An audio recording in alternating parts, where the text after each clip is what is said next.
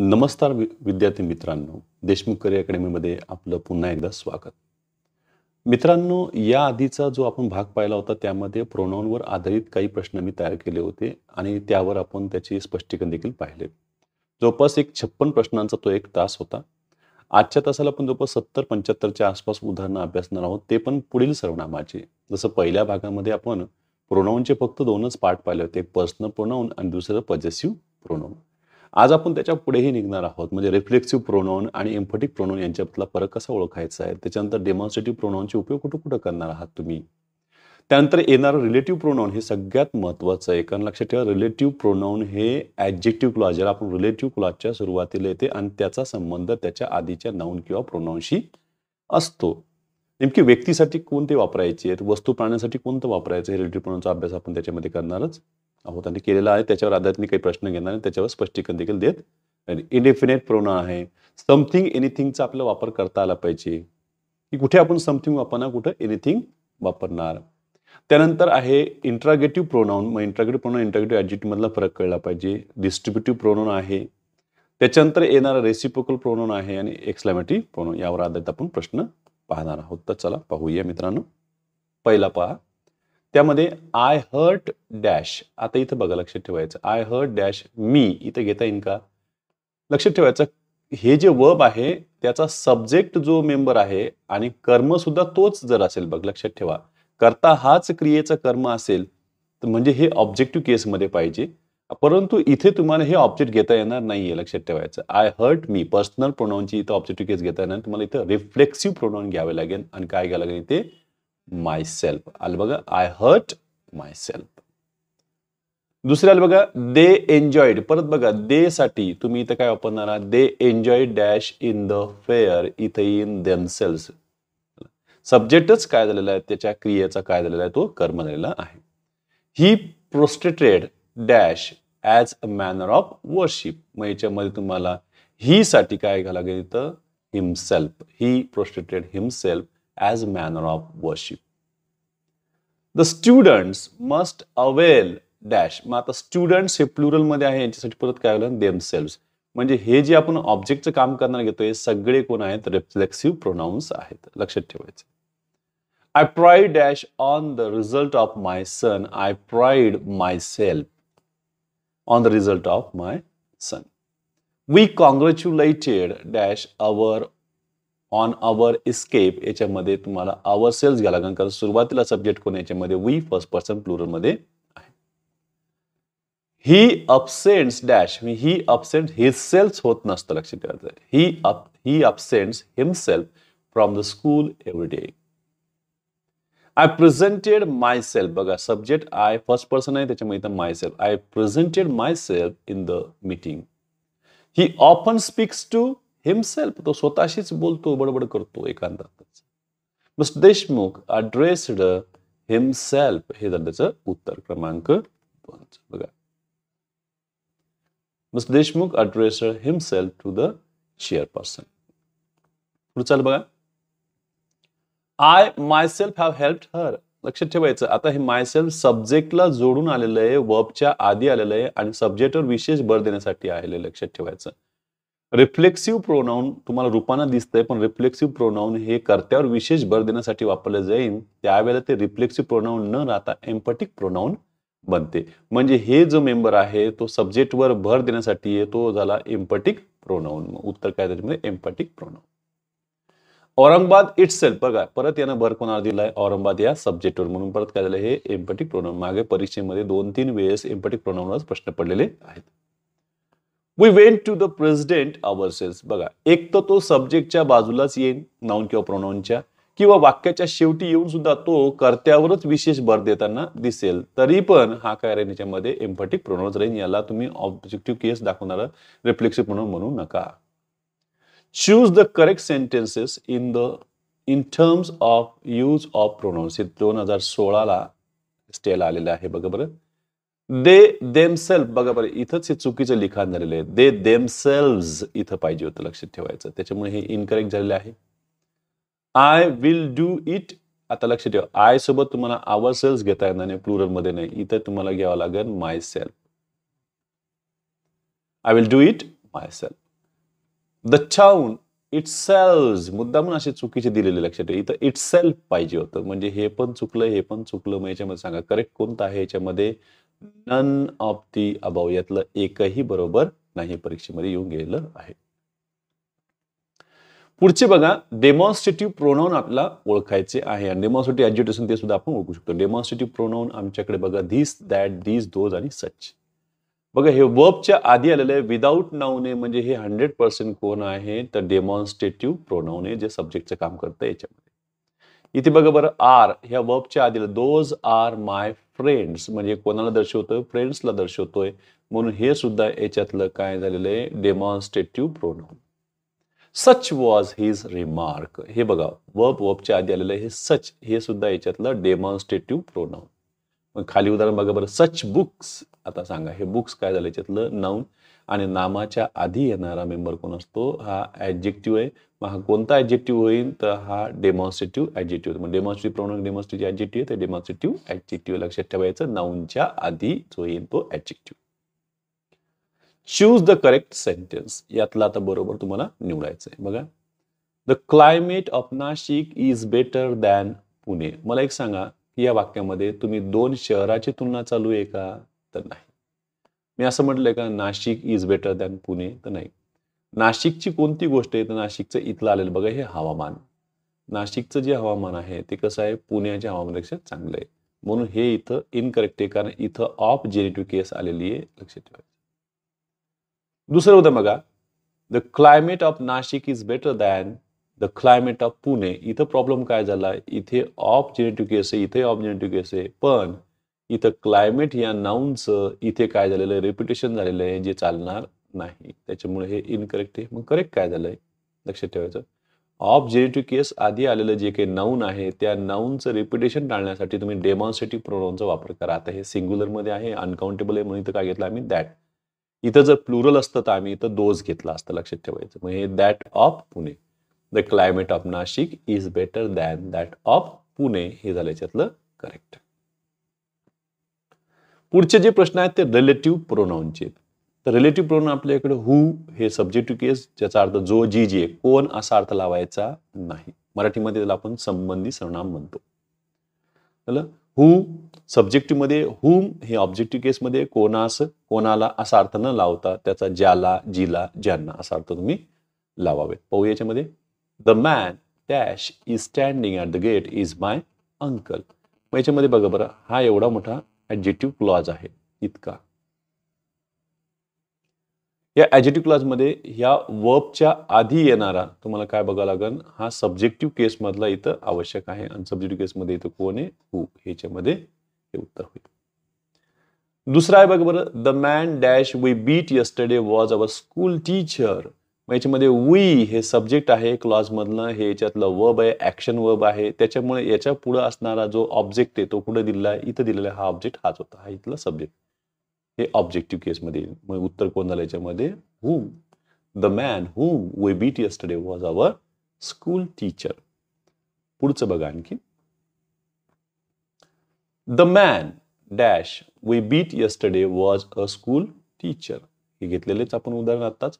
त्याच्यामध्ये उत्तर झालं त्याच्यामध्ये पुढचं घ्या. The man dash I believe is intelligent तर आता हे ॲजेटिव्ह क्लासमध्ये सब्जेक्टच्या नंतर जे काही वर्ब आलेलं आहे हे नॉन ॲक्शन वर्ब आहे. जरी ते ट्रान्झेटिव्ह असलं तरी त्याच्या पुढे त्याला स्टेटमेंट लागते. मग इथे तुम्हाला ऑब्जेक्ट म्हणून घेता नाही पण इथं तुम्हाला प्रोनाऊनची सब्जेक्टिव्ह केस वापरावी लागेल. लक्षात ठेवायचं. The man who I believe is intelligent म्हणजे इथलं जे काही हू तुम्ही वापरणार आहात ते हू याच्याशी संबंधित आहे. झालं? आणि याचा संबंध कोणाशी? या पुढच्या वर्बशी. म्हणून इथं हू घेतलेलं इथं हुम घेता येणार तसंच उदाहरण बघा. The woman dash I thought हे सुद्धा नॉन ॲक्शन वर्ब आहे. याला सुद्धा तुम्हाला इथं सब्जेक्टिव्ह केसमधलंच रिलेटिव्ह प्रोनाऊन वापरावे लागेल. उत्तर काय त्याच्यामध्ये? पुढचे बघा. The woman dash purse was stolen is my aunt मग इथं हे जे नाऊन आहे ह्या नाऊनचं पजेशन कशावर आहे? ह्या पुढच्या नाऊनवर आहे. आणि पजेशन दाखवायसाठी तुम्हाला पजेसिव्ह केसमधलं रिलेटिव्ह प्रोनाऊन पाहिजे. उत्तर त्याच्यामध्ये हुज इन बघा. The woman whose purse was stolen is my aunt the table dash is broken becomes useless आता हे टेबल हे व्यक्तिरूपी नाहीये लक्षात ठेवा. याच्या आधीचे सगळे व्यक्तिरूपी होते. आता हे वस्तुरूपामध्ये आलेलं आहे. निर्जीव रूपात आहे लक्षात ठेवायचं आहे मग यासाठी तुम्हाला ह्या वर्बच्या आधी येणारं सब्जेक्टिव्ह केस मधलं तुम्हाला रिलेटिव्ह प्रोनो वापरू लागेल हू घेता येणार नाहीये उत्तर काय गेलं तुम्हाला? Which the table which is broken becomes useless पुढचं बघा please bring me the hat dash I bought yesterday परत बघा बरं हे हॅट याच्यामध्ये हे वस्तू रूपात आलेलं थिंगच्या रूपात आहे. पण इथं हे सब्जेक्ट आहे हे वर्ब आहे म्हणजे इथे येणारं रिलेटिव्ह प्रोनाऊन तुम्हाला ऑब्जेक्ट केसमध्ये पाहिजे. हे ऑब्जेक्ट केस जाणणार नाही हे व्यक्तीसाठी येतं उत्तर काय विच म्हणजे आधीच्या वाक्यात असणारं विच हे मात्र सब्जेक्टिव्ह केसमध्ये होतं तर हे मात्र इथं काय ऑब्जेक्टिव्ह केसमध्ये जरी रूप त्यांचं बदललेलं नसलं तरी कार्य मात्र बदलतंय. Mister Patil and his bike आता एक लक्ष ठेवायचं इथं हे व्यक्तिरूपी आहे आणि इथं मात्र वस्तुरूपी आहे. म्हणजे दोन अँटीसेडंट्स जर वेगवेगळे असले तर तुम्हाला इथं कॉमन रिलेटिव्ह प्रोनो वापरू लागेल ते हू वापरता येणार नाही. मिस्टर पाटीलसाठी म्हणून बाईकसाठी तुम्हाला विचय घेता येणार नाही. उत्तर काय केलं तुम्हाला? दॅट रिलेटिव्ह प्रोनाउन वापरू लागेल mister Patil and his bike that had been lost were found yesterday हे त्याचं उत्तर झालं. पुढची बघा. ऑल आता याच्यामध्ये निश्चित कळत नाहीये नेमकी कोण आहेत. चला अनिश्चित सर्वनाम यांच्यामध्ये आलेलं बघा. All dash glitters is not gold म्हणजे तुम्हाला निश्चित कळत नाहीये. त्याच्यामध्ये वीज घेता येणार नाही. उत्तर काय कारण तुम्हाला? दॅट म्हणजे लक्षात ठेवायचं आहे की ऑल आहे त्याच्यानंतर एनी आहे ओनली आहे यांच्यानंतर तुम्हाला काय वापरता येईल? दोज आहे. त्यांच्यानंतर तुम्हाला दॅट हे रिलेटिव्ह प्रोनो वापरावे लागेल. I remember all dash he said परत बघा ऑल आलेलं आहे. जसं इथं दॅट घेतलंय तसं इथं सुद्धा काय गेलं तुम्हाला? That I remember all that he said हे त्याचं उत्तर आहे. You can use any book हे बुक हे नाऊन आहे आणि याच्यातलं हे एनी ॲडजेक्टिव्ह आहे. म्हणजे इथं आर्टिकल अ किंवा ॲन आलं असतं. ना? तर इथं काय आलेलं आहे? सध्या बुकच्या आधी अ. समजा you can use a book means any book कोणतंही पुस्तक तू वापर. निश्चित काही बोध होत नाहीये. म्हणून इथं उत्तर काय येईल त्याच्यामध्ये? That you can use any book that you want एक लक्ष द्यायचं. इथे येणार याचा संबंध याच्याशी लाभ आहे. नाऊनशी तर असणारच आहे. पण त्याच्या आधी कोणता ऍजेक्टिव्ह त्याच्यानुसार सुद्धा रिलेटिव्ह प्रोनाउन वापरता येईल. दोज आता हे डेमॉन्स्ट्रेटिव्ह प्रोनाउन आहे.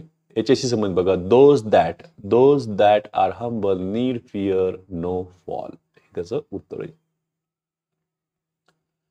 This is the only book बघा बरं. हे बुक नावने आणि याच्या आधी आलेलं हे ओनली ओनलीनुसार तुम्हाला इथं परत काय घ्यायला लागेल that this is the only book that I want Daulatabad is one of the best forts आता एक लक्षात ठेवा. सुपरलेटिव्ह डिग्री जेव्हा राहील हे सुपरलेट डिग्री सुपरलेट डिग्रीमध्ये त्याच्यानंतर येणाऱ्या एक वशनी किंवा अनेक वचनी नामाच्या नंतर तुम्हाला दॅट रिलेटिव्ह प्रोनाऊन वापरावे लागेल.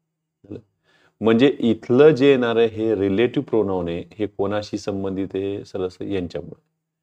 आणि याच्याशी संबंधित तुम्हाला इथलं वर्बचं नंबर वापरावे लागेल. हे दोन गोष्टी फार महत्त्वाच्या आहेत.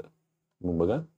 Daulatabad is one of the best forts हे विच हॅव विच हॅज हे तर होणारच नाही दॅट हॅज पण होणार नाहीये. कारण इथं प्लुरल पाहिजे. उत्तर काल त्याच्यामध्ये that have Daulatabad is one of the best forts that have been preserve पुढचं उदाहरण बघा. She is the most beautiful girl बघा मोस्ट ब्युटिफुल गर्ल आल्या याच्यामध्ये सुपरलेटिव्ह डिग्री आहे.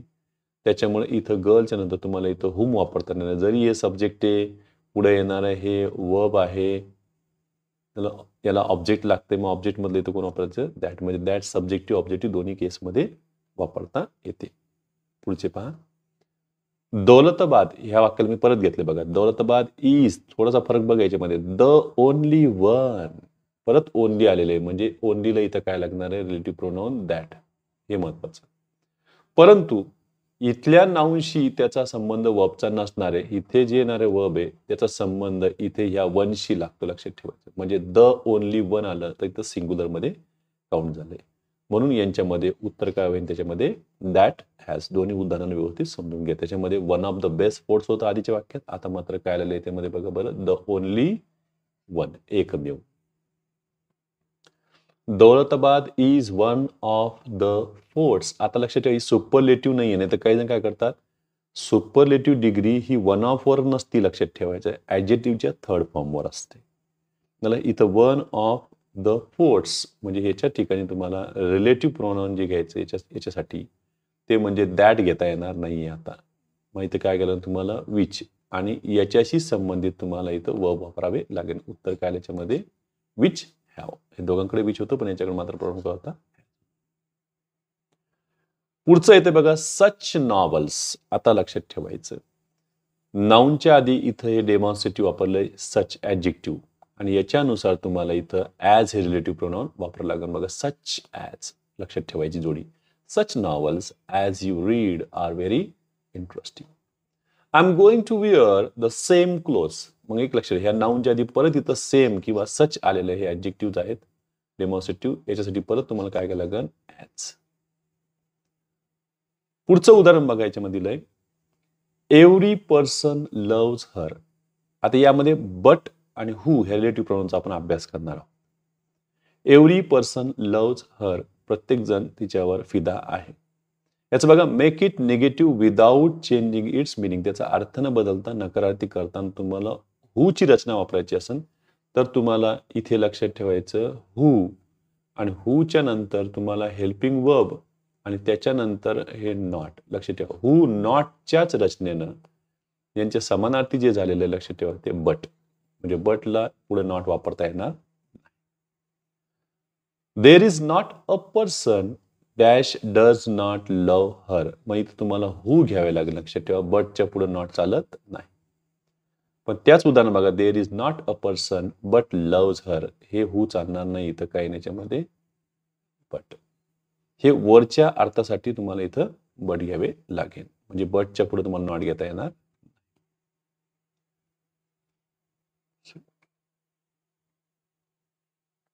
पुढचं उदाहरण आणखी त्याच पद्धतीत बघा. Every person shouted slogans choose the correct sentence or sentences make it negative without changing its meaning त्याच अर्थाने घेतलेलं आहे. बघा. There was not a person who did not आलं का? हू नॉट आले याच्यामध्ये. शाउट स्लोगन्स हे करेक्ट आहे. There was not a person but shouted हे सुद्धा करेक्ट आहे. कारण बट हे दोघांच्या अर्थानं वापरलं. कोणाच्या? हू नॉटच्या अर्थाने इथं बट घेतलेलं आहे. आणि हे रिलेटिव्ह प्रोनाउनचं काम करतं हे लक्षात ठेवायचं आहे एक कॉम्प्लेक्स सेंटेन्स आहे कंपाऊंड सेंटेन्स नाही. याच्यामध्ये दोन्हीही बरोबर आहेत. मग उत्तर काय याच्यामध्ये बोथ बोथ आर करेक्ट पुढचं बघा आय गेव एनी पर्सन पुन्हा बघा लक्षात ठेवायचं हे नाऊन येईन त्याच्या आधी येणार एनी एनी नुसार तुम्हाला इथे वापर लागेल दॅट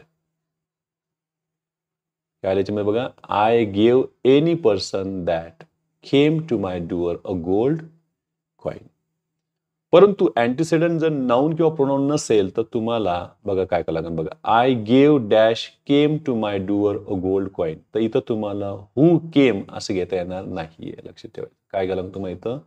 हू एवर हे रिलेटिव्ह प्रोनाऊन घ्यावे लागेल. म्हणजे तुम्ही बघा याचं काय केलं? I gave whoever came to my door a gold coin हे जरी रिलेटिव्ह प्रोनाऊन असलं पण यांच्यापासून सुरू होणारा लक्षात ठेवायचा हा. Whoever came to my door तर एक लक्षात ठेवायचं हे याच्यामध्ये नाऊन क्लॉथचं काम करताना दिसतंय. कारण या आधीच्या सगळ्या उदाहरणामध्ये आपण पाहिलं होतं की रिलेटिव्ह प्रोनाऊन हे रिलेटिव्ह क्लॉथच्या सुरुवातीला येतं ॲजिटिव्ह क्लॉथच्या सुरुवातीला येतं. मग इथं हे हू एवर मात्र कोणतं क्लॉथ तयार करतंय? नाऊन क्लॉथ हे महत्वाचं आहे लक्षात ठेवा. जरी ते कॉम्प्लेक्स सेंटेन्स असले तरी. I like all dash she does means I like all that she does ह्याच्यामध्ये ऑल दॅट पण इथं बघा बरं आय लाईक ऑलच नाही इथं तर मग काय घ्यायचं? I like dash she does इथं दॅट घेता येणार नाही उत्तर काय लागेल तुम्हाला? वॉट एव्हर मला आवडतं. काय आवडतं? जे काही ती करते लक्षात ठेवा. वॉट एव्हर शी डज त्यात आलेलं आहे. पुढे बघा. आय रिमेंबर ऑल ऑलच्या परत पुढे तुम्हाला घ्यावं लागेल दॅट हे झालं त्याचं उत्तर. पण पुढे बघा I remember dash he said इथं दॅट घेता येणार नाही उत्तर काय करेल तुम्हाला? वॉट लक्ष what whoever ever whatever यांनी जे क्लॉज सुरू झालेले आहेत लक्षात ठेवा ते नाऊन क्लॉज आहेत. पुन्हा एकदा. पुढचे बघा. राजू इज लेझी आता हे इंट्रागेटिव्ह प्रोनाऊनकडे आपण वाहिलेलो आहोत. राजू इज लेझी आणि याला अंडरलाईन केलं बघा. Frame W H type question replacing the underline word in the sentence राजूसाठी तुम्हाला काय लागेल dash is lazy means who is lazy कारण इथला मेंबर हा सब्जेक्ट आहे तर तुम्हाला सब्जेक्टिव्ह केसच घ्यावा लागेल ऑब्जेक्टिव्ह केस घेता येणार.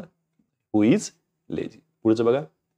राजू हेल्प्स राणी. आता हे वर्ब आहे हे सब्जेक्ट आहे हे ऑब्जेक्ट आहे. याच्यावर आधारित आम्हाला प्रश्न तयार करायचा आहे. मग काही जण काय म्हणतील सर जसं इथं राजू अंडरलाईन केलं होतं सब्जेक्ट आहे त्याच्या ठिकाणीच हू वापरलं. मग इथं अंडरलाईन केलं तर याच्या ठिकाणी तुम्ही हू वापरता का? तर नाही. पहिलं याच्यातलं चुकलेलं आहे इथं प्रॉब्लेम आहे. झालं पुढचे बघा हुम राजू हेल्प्स असं घेता येणार नाही कारण इंट्रागेटिव्ह प्रोनाऊनच्या नंतर डब्ल्यू एच इंट्रागेटिव्ह प्रोनाऊनच्या नंतर तुम्हाला हेल्पिंग बब वापरणं आवश्यक आहे त्याच्यामुळे चुकलेलं आहे. पुढचं बघा हुम डज राजू हेल्प इथे डज बरोबर घेतले पण परत इथं वबला तुम्ही यस हे सफिक्स लावलेलं हे चुकलेलं आहे त्याच्यामुळे हे पण गेले. हुम डज राजू हेल्प लक्षात इथं डज पण आहे इथे परत हेल्प पण बेस फॉर्म आलेला हे उत्तर झालं त्याच्यातलं.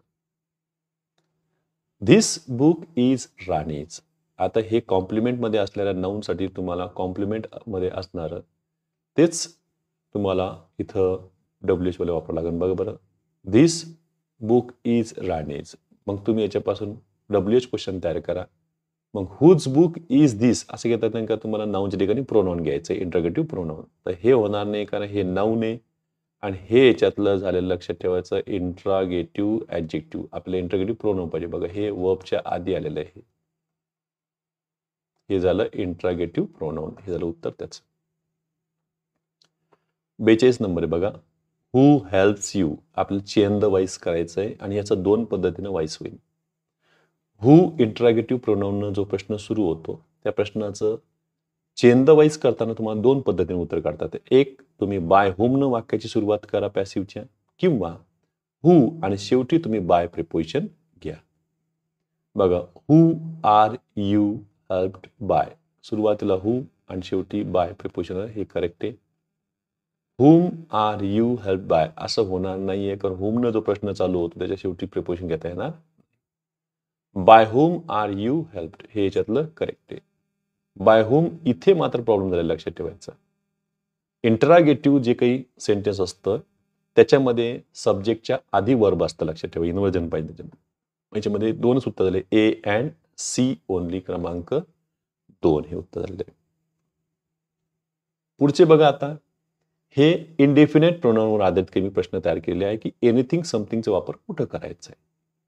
बघा डू यू वॉन्ट हे झालं याच्यातलं येस टाईप क्वेश्चन आणि नकारार्थी वाक्य खालचं बघा. डू यू वॉन्ट एनिथिंग हे होईल याच्यामध्ये. इंट्रागेटिव्ह सेंटेन्समध्ये तुम्ही काय वापरा? एनिथिंगचा वापर करा. आय डोंट वॉन्ट डॅश आता बघा हे नकारार्थी आहे तर आय डोंट वॉन्ट समथिंग घेता येणार नाही. उत्तर काय परत एकदा anything I don't want anything आता बघा हे होकारार्थी वाक्य आहे सकारात्मक आहे. आय वॉन्ट समथिंग हे होणार परंतु हे होकारार्थी जरी असलं तर बघा बरं याच्यामध्ये please give me please give me याच्यामध्ये तुम्हाला सकारात्मक काय लागेल something please give me something म्हणजे सेंटेन्समध्ये जर रिक्वेस्टचा बोध आला तर तुम्ही काय करा पुला रिक्वेस्टचा असेल तर समथिंगचा वापर करा. बघा उड यू प्लीज गिव्ह मी हे सुद्धा पोलाइट रिक्वेस्ट दाखवत आहे. इथे तुम्हाला समथिंग वापरावे would you please give me something जास्त कोण चुकण्याची शक्यता या सेंटेन्समध्येच होती. कारण डू यू वॉन्ट लगेच काही जण समथिंग म्हणते चुकतंय. डू यू वॉन्ट एनिथिंग बाकीचे मात्र सहज तुम्हाला हे जमू शकतात बघा. पुढचं बघा इफ यू वॉन्ट परत आलं बघा याच्यामध्ये. इफ यू वॉन्ट तुला काही हवं असेल तर म्हणजे नसणार गोष्टी तर if you want anything you can tell me so तुला काही हवं असेल तर मला सांगशील. आणि इफ यू गिव्ह समथिंग आता हे सकारात्मक बघ. इथं वॉन्ट आहे तर एनिथिंग घ्या इथं गिव्ह आहे तर समथिंग घ्या लक्षात ठेवा इफमध्ये. हे इफ आहे माझ्यामध्ये इड झाले.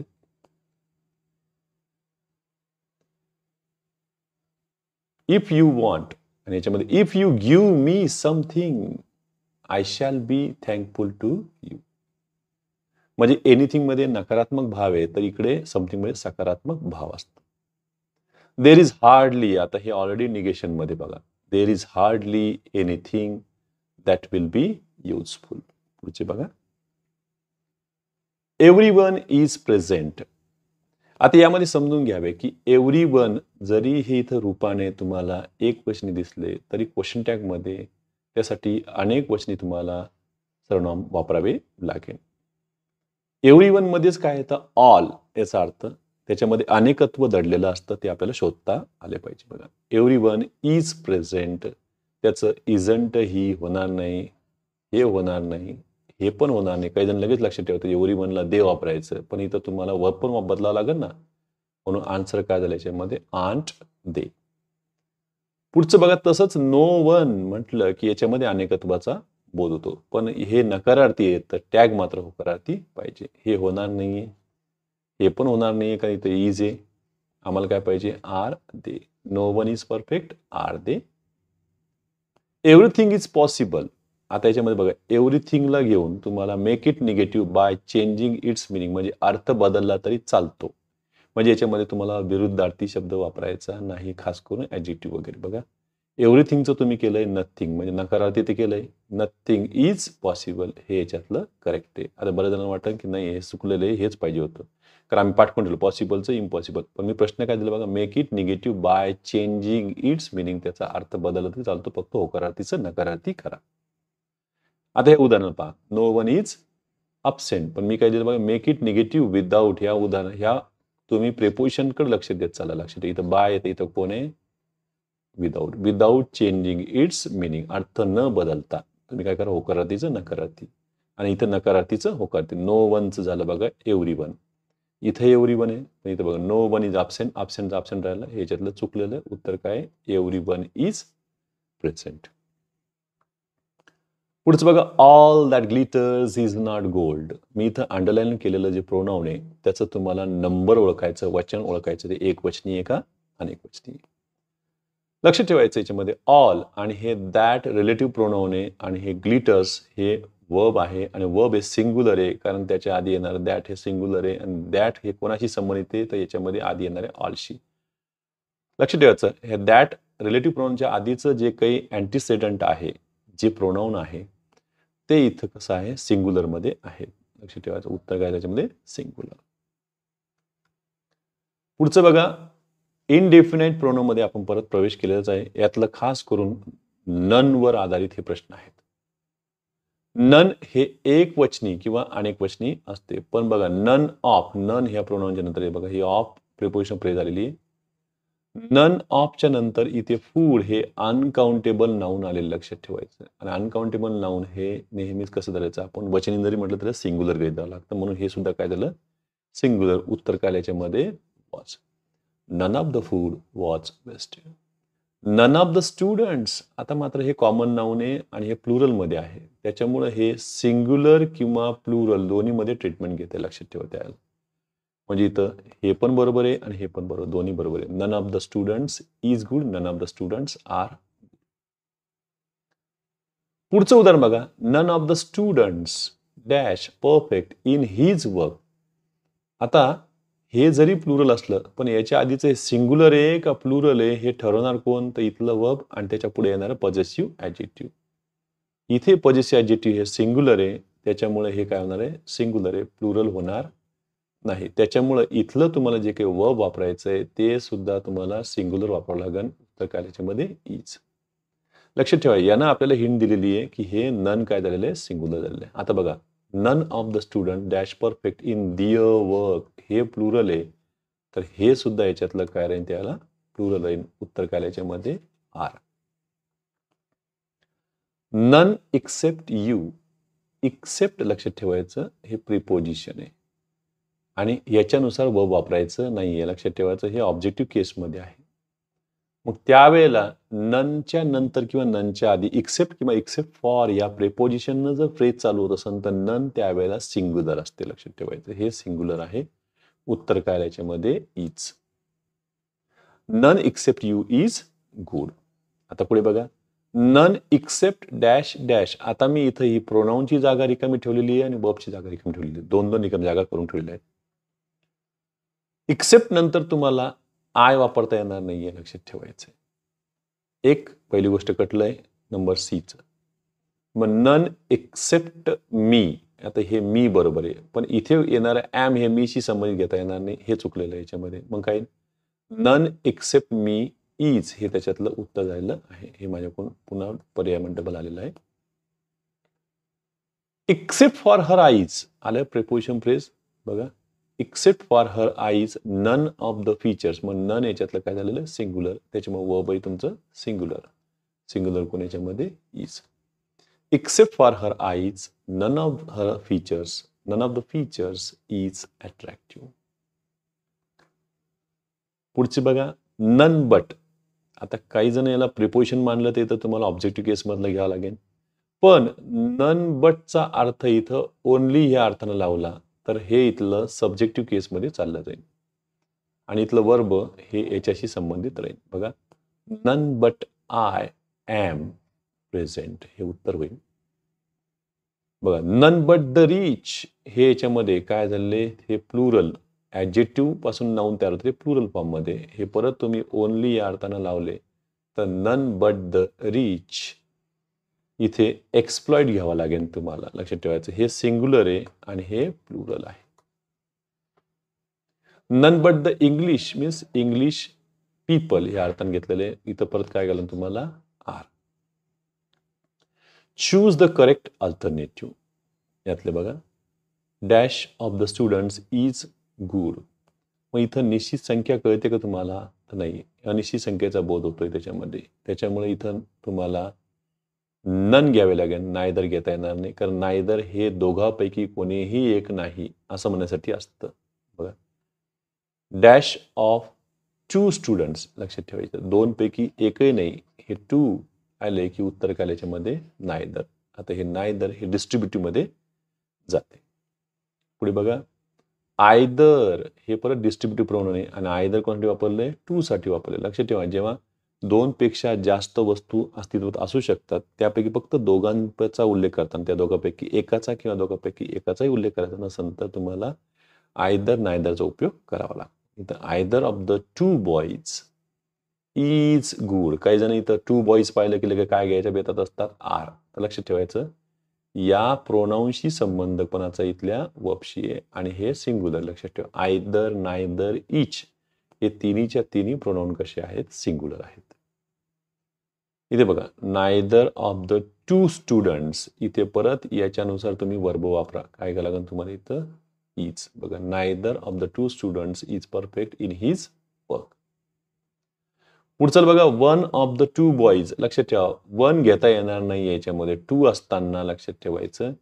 इथे तुम्हाला वन घेता येणार नाही. कारण दोन पेक्षा जास्त असतील तर तुम्ही वनचा उपयोग करा. म्हणजे हे सेंटेन्स काय झालेलं आहे? इनकरेक्ट झालेलं आहे. इथे काय पाहिजे होतं मग आपल्याला? बघा either either of the two boys is good दोनपैकी कोणता तरी एक हुशार आहे. सिक्स्टी एट नंबरचं बघा. डॅश ऑफ द थ्री इथं आकडा लक्षात ठेवा. टू नाही आहे थ्री गर्ल्स इज ब्युटिफुल मग तुम्हाला इथं आयदर घेता येणार नाहीये कारण दोन ही संख्या दोनपैकी कोणता तरी एक. इथं काय म्हणायचं? इच म्हणजे प्रत्येक. मुलगी सुंदर आहे. तिघीपैकी. Dash of the two boys is present बघा इथं परत टू बॉय आलेले आहे त्याच्यामुळे इथं तुम्हाला नन घेता येणार नाही. तर काय याच्यामध्ये नाही. तर neither of the two boys is present पुढचं वाक्य बघा. नायदर ऑफ हिज पॅरेंट्स आता सांगा पॅरेंट्स नेमके किती आहेत? तर दोनच असतात. म्हणजे इथं टू म्हणण्याची काही गरज आहे का? तर नाहीये. लक्ष डोळे किती आहेत? दोनच असतात. कान दोनच असतात. हात पाय जे दोन दोन संख्येचे त्यांच्यामध्ये तुम्ही कोणता तरी एक किंवा कोणता एक नाही म्हणताना टू ह्या ॲजिटीचा वापर करू नका. Neither of his parents is literate. हे सेंटेन्स कसं आहे याच्यामध्ये? करेक्ट आहे. पुढे बघा चूज द करेक्ट अल्टरनेटिव्ह. मुद्दाम करून याच्यावर प्रश्न सेट झालेले आहेत बऱ्याच वेळेस परीक्षेमध्ये. नायदर नायदर नन नन यांना घेऊन. इथे काय चुकले बघा बरं. Neither of the two girls is beautiful दोन पैकी एकही सुंदर नाहीये. मग नायदर सिंगुलर आहे तर काय घ्यायला लागेल तुम्हाला? इज हे करेक्ट आहे. एक. नायदरला इथं तुम्हाला प्लुरल घेतलेलं आहे. हे चालणार नाही. याला. टू गर्ल्स हे म्हटल्याच्या नंतर निश्चित संख्येचा इथं बोध केलेला आहे. टू गर्ल्स त्याच्यापैकी कोणतीही एक नाही. असं म्हणतात. नन नन हे दोन्ही चुकलेले आहेत. नाही तर काही जण डोकं लावतील की सर हे नायदर सिंग्युलर आहे इज नन सिंग्युलर प्लुरल तुम्ही आहे असं म्हटलं होते sir.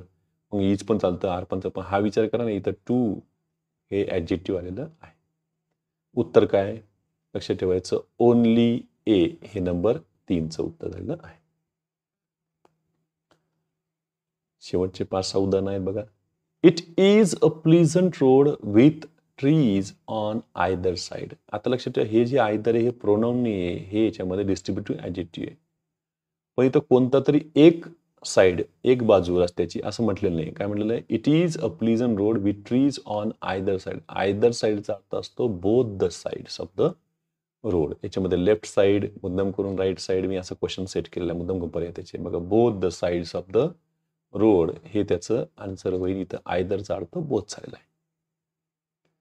Raju and Rani can help आता हे रेसिप्रोकल प्रोनाउन लक्षात ठेवा. दोघातला परस्पर संबंध दाखवायचा असेल तुम्हाला तर इच आदर वापरा लागेल. दोनपेक्षा जास्त किंवा निश्चित संख्येचा बोध नसेल तर तुम्ही काय करा तिथं? वन अनादर बघा Rani Raju and Rani can help each other they both आले की ते बोथ दोघांचा बोध झाला they both can help each other my parents लक्षात ठेवायचं. याच्यामध्ये दोनच आहेत.